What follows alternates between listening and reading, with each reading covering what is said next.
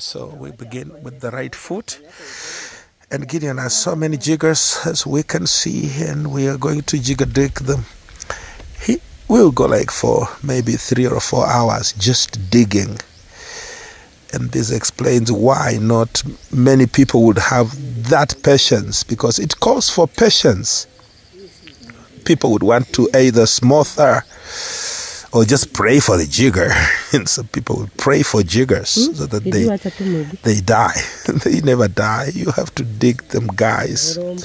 Sometimes religion is abused. Religion is supposed to uh, map up the compass, you know, how we help, how we act.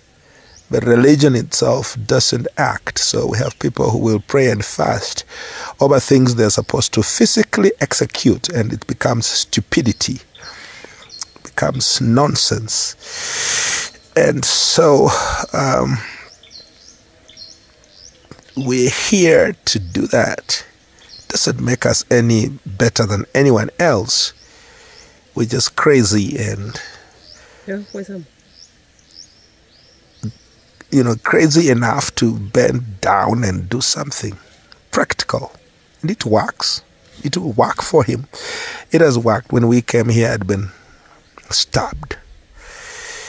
And at least what we did relieved him for a season. And then jiggers are back and we are back again.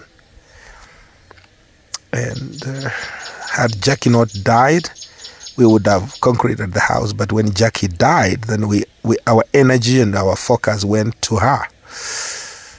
We are back, so should be concreting the house and burning the rags, and Gideon will just be okay.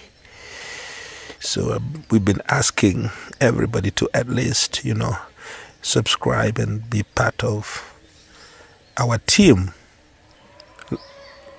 Love in Action so that together we can touch lives in Africa. At least we can do that. It's not too hard to do. We can all do that. You know, I, I know that we can do that. I understand we have people who are not earning and they're in trouble and all that. It's understandable. And uh, God knows your heart. But if you're in a position, please do it be deliberate and just do it, and God will bless you. Can I assure you that you'll be blessed for that?